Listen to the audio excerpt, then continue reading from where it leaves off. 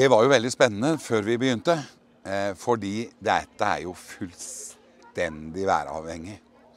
Eh, men når vi tok avgjørelsen for, pga. forberedelser, så måtte vi ta en avgjørelse. Og da var det lov å samle eh, opptil 600 i det store teltet.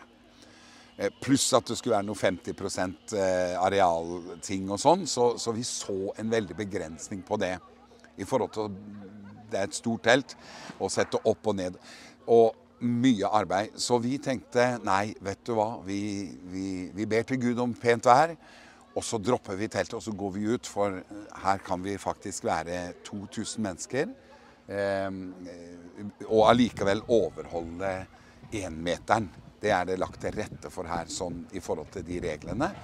Eh, så, så, så, vi er jo kjempeglade for at vi gjorde det, fordi været slo til. Men det var et troskritt.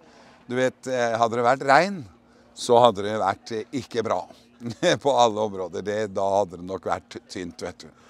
Men været har jo bare vært meldt sol hele veien.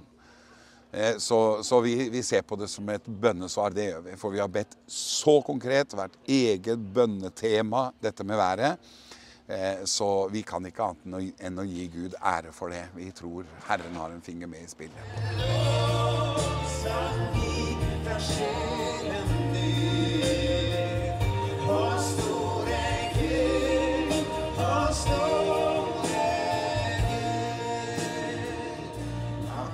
Og så har dere 'Under en åpen himmel' som et slags uh, slagord for, ja. uh, for, konferansen også, så dette er jo i dobbel forstand nå. Kan du si noe om det?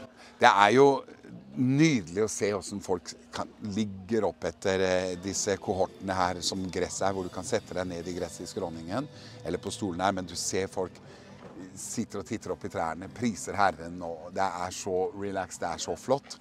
Så jeg syns dette er helt fantastisk måte å gjøre det på. Det er under en åpen himmel. Vi kjenner Guds ånd er her, og vi kjenner sola skinner, fuglene synger. Og det gjør vi òg, i takt med dem, holdt jeg på å si. Ja. Og, og, og, det kommer jo mange budskap fra mange predikanter i løpet av en sånn eh, uke. Hva er det du først og fremst eh, drømmer om og håper at skal brenne seg fast i de som kommer hit? Nei, det, det er jo dette, dette, fellesskapet med Jesus og Gud, altså den kommunikasjonen. At det det livet der blir fokusert inn. Jeg personlig har møtt litt mange mennesker som er mer opptatt av Donald Trump og eh, Bill Gates og eh, eh, legers uttalelser på nettet som har blitt så mye.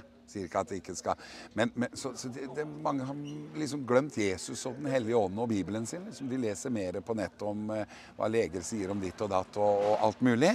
Og det er jo eh, jeg, jeg, jeg, kjenner bare Kjære Gud, la oss ikke miste fokus oppi alt. Det er klart vi er i endetiden, mørket kommer og sånn. Men, men, hvis du blir mer opptatt av mørket enn av lyset, så, så bommer vi. For at det blir mørkt, det er det ingen tvil om. Trenger ikke å lese på nettet for det. Du kan bare lese i Bibelen, så finner du det der. Og den dagen vi leser mer på nettet enn i Bibelen, da må vi go to back to the real Facebook. Og det er en oppmuntring. Get your face in the book. Amen. This is the real Facebook, altså. Og det, det står jeg litt for at eh, La oss ikke bli så opptatt av korona og konspirasjoner og sånn at vi glemmer Bibelen og Jesus og Den hellige ånd. For det er enkelt. Jeg snakker ikke at vi ikke skal sette oss inn i ting, men, men la det ikke ta overhånd. Altså, sånn at eh, vi har lyset her. Vi trenger Jesus sa, vet du, det er ikke deres sak å vite ditt og datt, men dere skal få kraft idet Den hellige ånd kommer over dere. Så vi ønsker at dette skal være sånn tune inn i denne mørke tida, hvor mørket At vi ikke blir for opptatt av mørket, men vi kan tune inn han som overvant mørket. Antikrist kommer, vi er ikke uvitende, og vi skjønner at mørket er der. Men vi har et ønske med denne konferansen at det er Jesus, Den hellige ånd, og Bibelen som står i fokus. Og så tar vi i det andre etterpå. Men i riktig rekkefølge. Det andre her, De andre tingene kan komme som nummer to, men det må aldri bli nummer én. Jesus er nummer én. Amen. Og rett bak oss nå så står der eh, en vogn med vann oppi. En eh, mobil dåpsvogn, rett og slett. Ja. Eh, fortell, hvordan blir den brukt denne uka? Den blir brukt med at folk kan døpe seg. Akkurat nå så hadde vi noen som ønsket å døpe seg. En familie. fra en menighet på Vestlandet. Så de bare hadde selvbetjening. De kom og lurte på den vogna. Ja, så de hadde en sånn, for de ville ikke på TV. De ville ikke eh, gjøre det med masse folk, så de hadde faktisk sånn drop-in-dåp, kan du kalle det. Gir dette mersmak med dette å gjøre det under åpen himmel, eller kommer teltet tilbake neste år? Det blir nok telt. Det blir telt. Vi, vi syns det er eh, herlig med telt. Dette er jo veldig flott, men jeg tror dette er en sånn nåde, nådeår fra Herren. Jeg tror dette er Guds nåde. Med det været og sånn.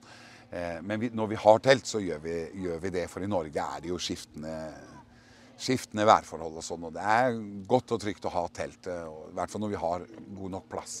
Hvis vi sprenger teltet noen gang, så kan vi jo heller vurdere å komme hit.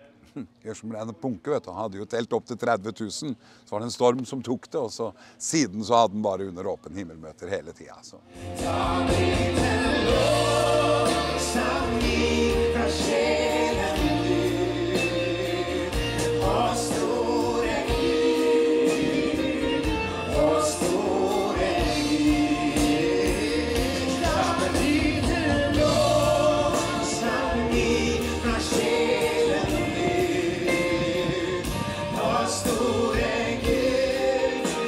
Så. Stor